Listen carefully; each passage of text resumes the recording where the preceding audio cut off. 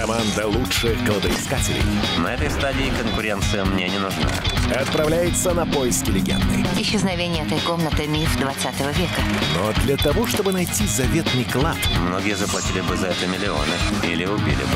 Им придется разгадать загадку Он сказал следовать по цепочке знаков. самого Альберта Эйнштейна Для Эйнштейна это слишком просто. в поисках янтарной комнаты. Где-то здесь. 5 мая в 20.30. Премьера на Еврокино.